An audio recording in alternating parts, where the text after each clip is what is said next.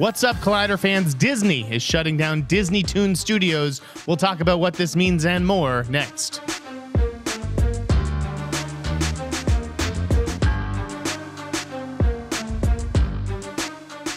Right, Jeff Sneider here, joined by Mark Reilly.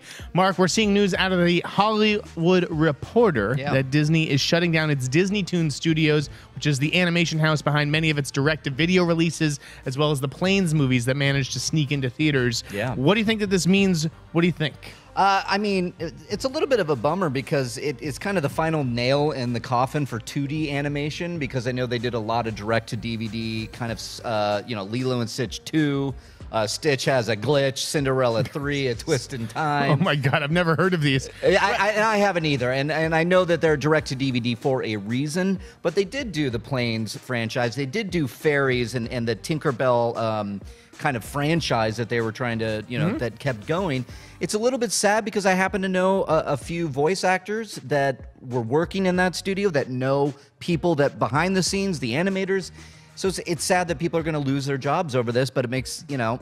Look, they haven't been around for a while. They haven't released something in a while. Is is that correct? I mean, yeah, it's been, it's been four years since their last movie, uh, which was the plane sequel, right? Fire and Rescue. Fire and Rescue. And then Tinkerbell and, and the and the Legend of the Neverbees. And listen, a lot of these movies are not things that you and I would ever No. see. We don't have children, but for those who do have children, you know, th- this is how you entertain them. It's all these direct-to-video sequels to the the hand-drawn animated stuff. Yes. Um, so, so that comes as a blow. Now, it- this comes as Disney is going to be launching its streaming service. Right. And you'd think that maybe they'd want to keep Disneytoon Studios open to con- continue churning out these direct-to-video sequels for that service, but I guess they're going in another direction. Yeah, we don't know what that direction is either, but I, uh, but yeah, that would make a lot of sense where you could have uh, virtually a lot of, uh, and I'm I'm assuming they would put some of this older content that they did create Yes. from Disneytoon on that streaming service. But why not create something for the younger viewers that are going to be out there? They could keep doing that. So it's obviously something they have a bigger plan. We just don't know what it is yet. It, it may simply be that they want to put those resources into creating new original content for the streaming service. Right.